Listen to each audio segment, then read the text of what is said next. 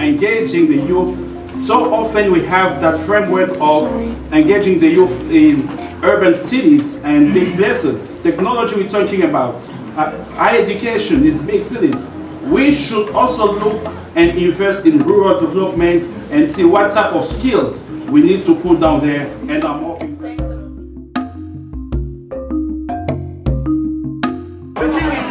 make sure that our private organization really invest in the youth.